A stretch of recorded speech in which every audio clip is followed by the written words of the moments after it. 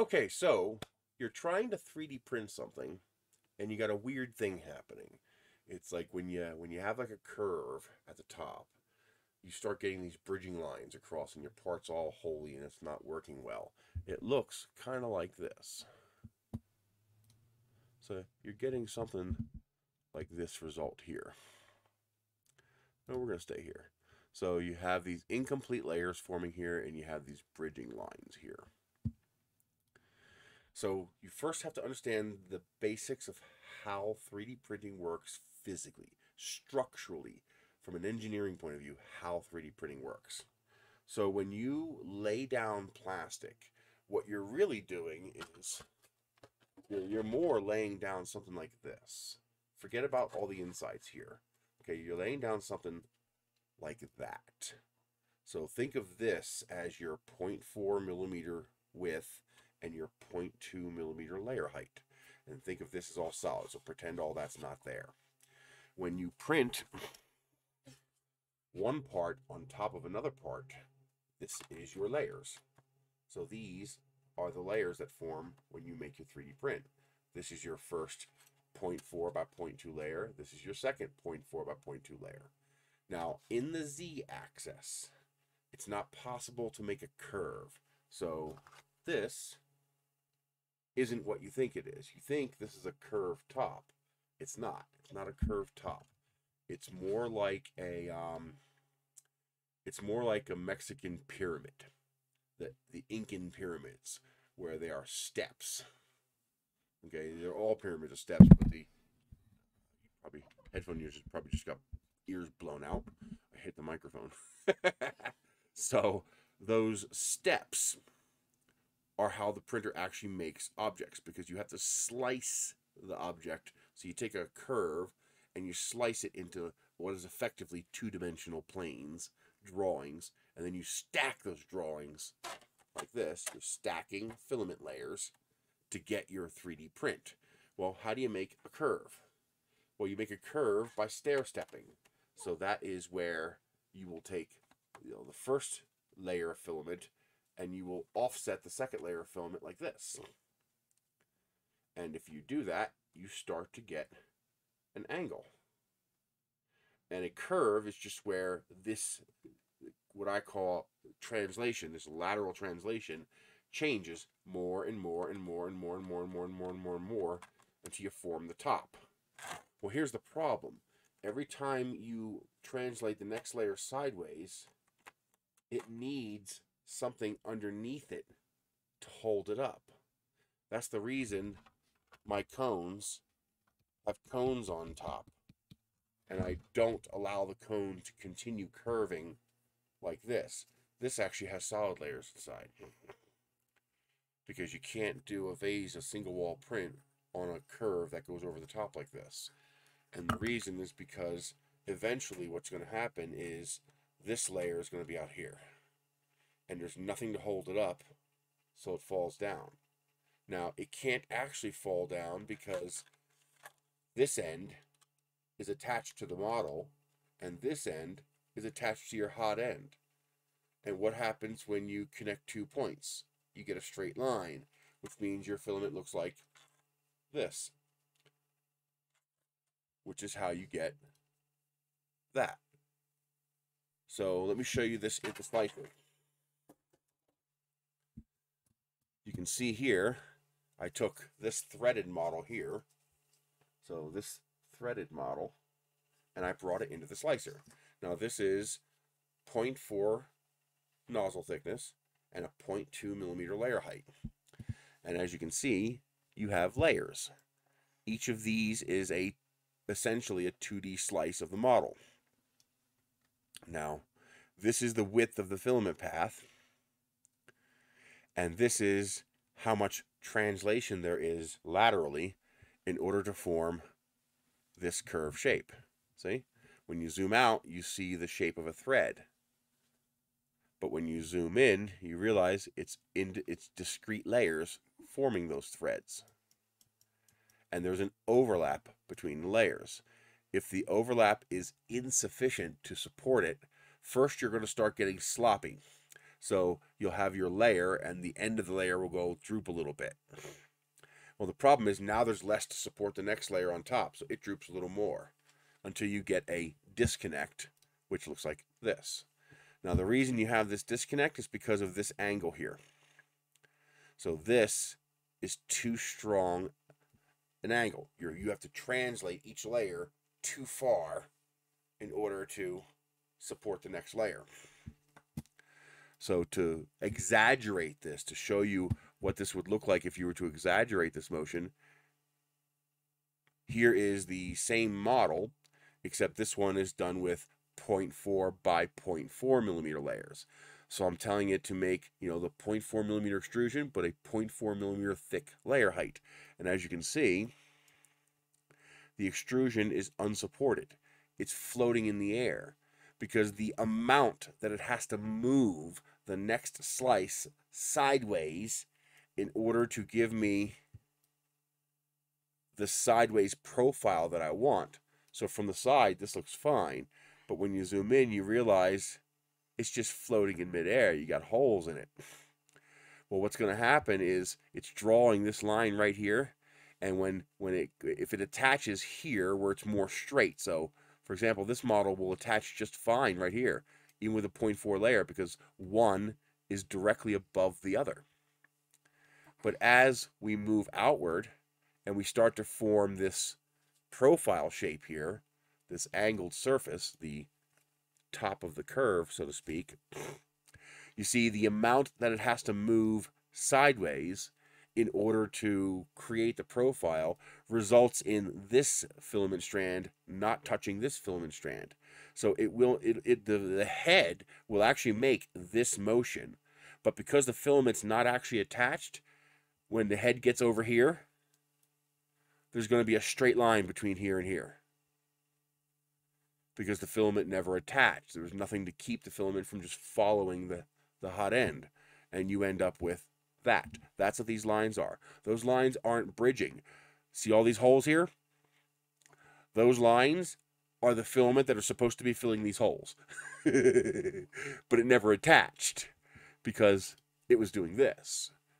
So there's only two ways to fix this. One way is to increase the number of perimeters. If you increase the number of perimeters, so you have So you have this layer, and then you have this layer, but this layer has to go out too far. So what you do is you put another layer, you have two layers here. So now you have something to support that first layer. Now you're still going to have issues with the innermost layer.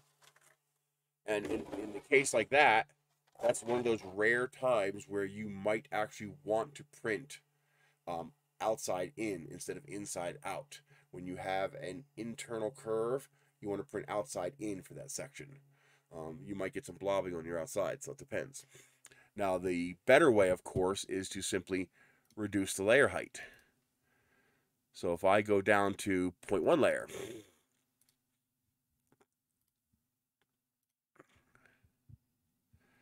now you can see it's an absolute solid model with nice clean overlays, see? There's lots and lots of plastic being overlaid here. Let me zoom out. Let me scroll down here. Here we go. There we go. You can see that most of the layer is on top of the layer next. Oh, you can't see that.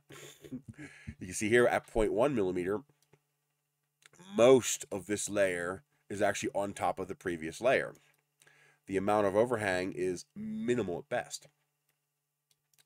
So you have to lower your layer height to reduce how much it has to move sideways each layer in order to form that curve.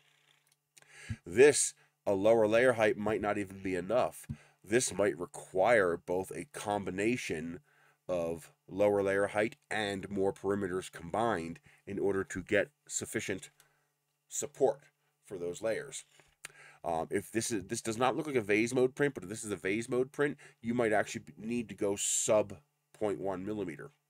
So you might need to be able, you might need to go 0.04 millimeter at least for that section, um, in order to get enough overhang support to hold that up.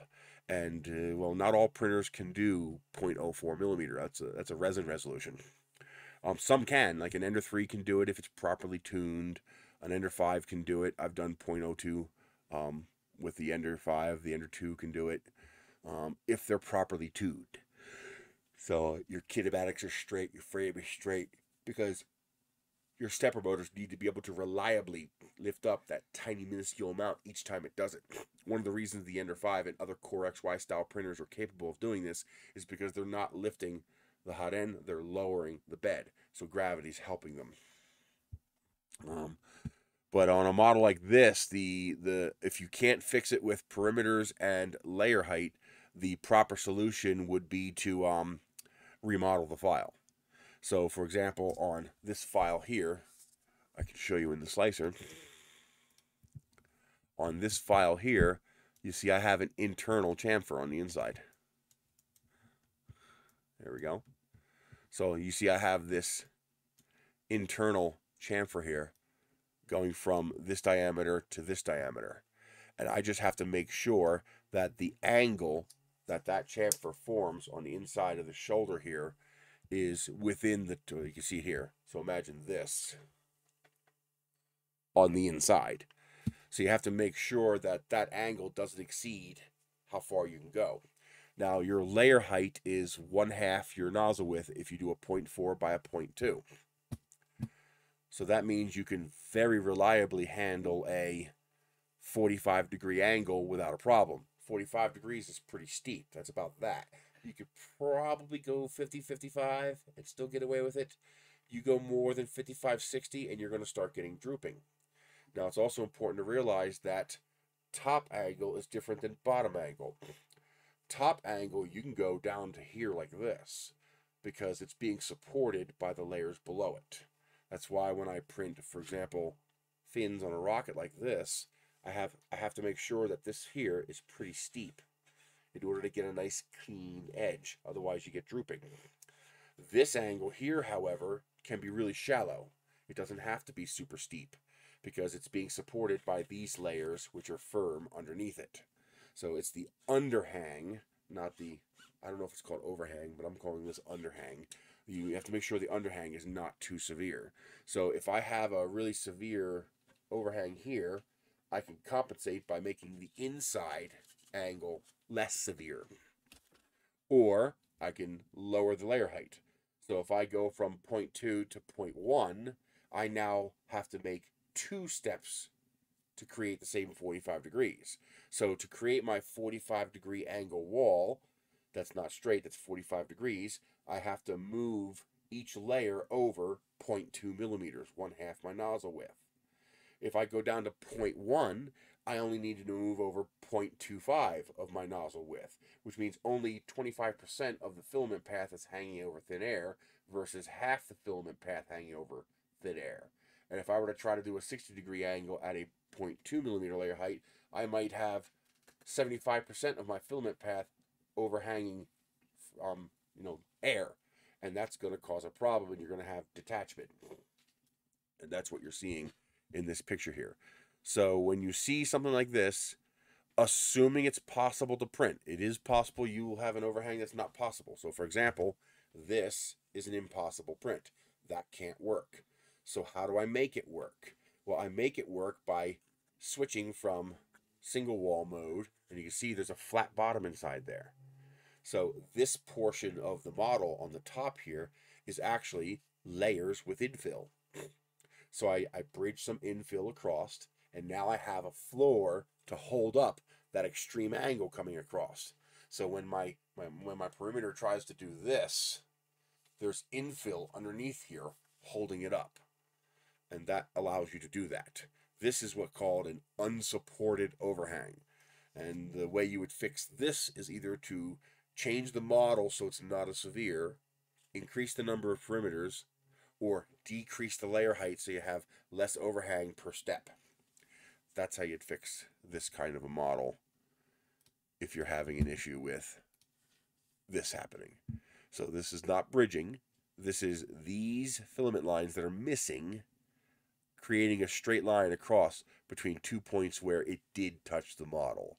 So again, to fix that, increase the number of perimeters, modify the model, um, decrease the layer height, or all of the above. You'll have to look in your slicer and look at the actual preview until you get a nice um, amount of overlap per layer. When you start getting to the point where you can see through it, you got to start worrying that you might have a little bit too much of an overhang. Like, for example, show you one that's a little more visible, the white one. This one here is right on the edge. This is right on the edge of printable at a 0.2 millimeter layer height. If I were to angle that anymore, I'd start getting detachments. Have any questions? Ask down below. I'll do my best to answer them. And happy designing.